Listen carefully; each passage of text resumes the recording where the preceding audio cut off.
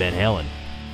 In 1972, Dutch-born brothers Alex and Eddie Van Halen formed a band called Genesis. Two years later, after hiring David Lee Roth as singer and Michael Anthony as bassist, they changed their name, first to Mammoth and then to Van Halen. Van Halen became popular in the LA club scene in the mid-70s. They recorded a demo produced by Kiss's Gene Simmons, who wanted them to change their name to Daddy Longlegs, and finally scored a deal with Warner Brothers in 1977. Their self-titled debut was a smash, selling more than 10 million copies. The band released five more studio albums, including 1984, which added synth pop into their sound and made them MTV superstars.